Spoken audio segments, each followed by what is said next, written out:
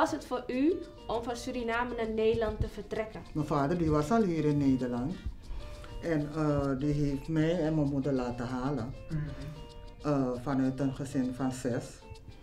En eh, het was een geweld. Voor mij was het een geweldige ervaring. Ik kom in Nederland. Deze woning hebben we toen gekraakt, kunnen kraken. Ja, ik was kind. Ik vond het een hele grote happening.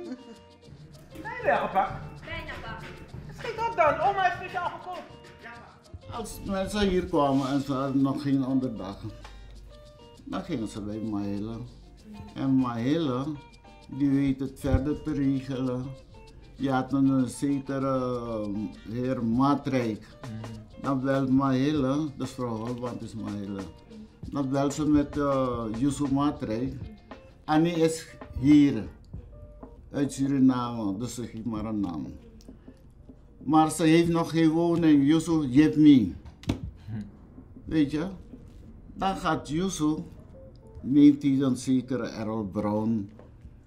Dat zijn de mensen van de krakersgroep. En ze weten precies welke huis leeg was. Dan gaan ze kraken voor jou. Maar was het gezellig? Kon je elkaar was het een opzoeken? feest Hier beneden, we hadden niet gebaar. Was er een flatband? Wat gebeurde er met feestjes en feestdagen? Het hoeft geen feestdagen te zijn. Je bent jarig, iedereen kwam bij jou over de vloer en eh, er werd gedanst. Hoe is het voor een jong meisje, na 14, 15, om in de Glikhoeven te wonen? Wat deed u? Ik hield van lezen, dus ik was meer in de kamer. Maar als je, ik, vier meisjes in een kamer en ik had een hoogslaper, ik sliep boven. Dus je kijkt om de flat heen, je ziet allemaal wat er gebeurt. Af en toe ga je naar buiten natuurlijk. Maar naarmate je ouder wordt, ga je meer naar buiten. Je bent bezig met vriendinnen, je gaat naar de disco. Hadden ze hier toen een disco, was een geweldige tijd. Ze hebben alles weggehaald, mijn hele jeugd is weg hier. Alles is veranderd, de verbouwing, alles is weg. Je hebt heel veel zalen hier. Ik heb hier echt genoten. Hoe zag dat eruit, die sociale contract? Weet je, in Suriname. Ja.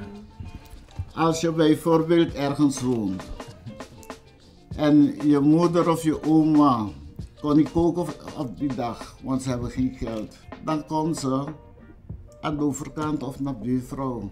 Weet je nog maar boreren? Geef geld. Of buurvrouw heeft dingen in de, in de zijn ijskast, dan kan je koken. Want je, je kreeg mee.